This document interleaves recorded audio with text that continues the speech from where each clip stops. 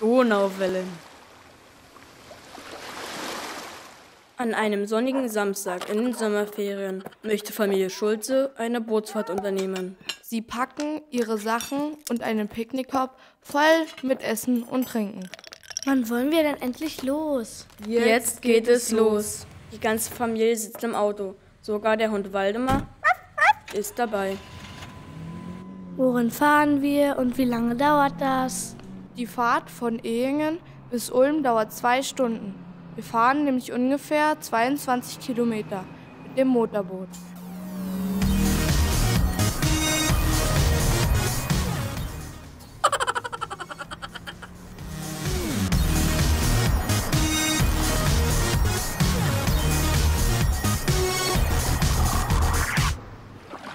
Nachdem Familie Schulze auf dem Motorboot sitzt, spielt Lina mit dem Hund Waldemar.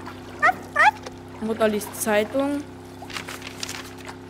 Und Vater guckt in die Weltgeschichte.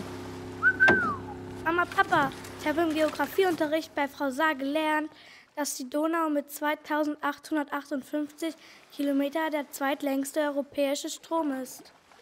Von der Donau sind 2580 Kilometer schiffbar. Sie entspringt mit den Quellflüssen Breg und Bregach im östlichen Schwarzwald und mündet in einem 5000 Quadratkilometer großen Flussdelta ins Schwarze Meer.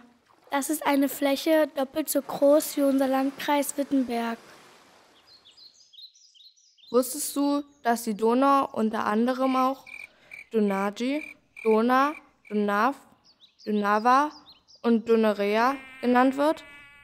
in dem die große Vielfalt an Nationalitäten gilt. Diese Vielfalt entstand durch Bevölkerungswanderungen, durch Fremdherrschaft über Länder der Region.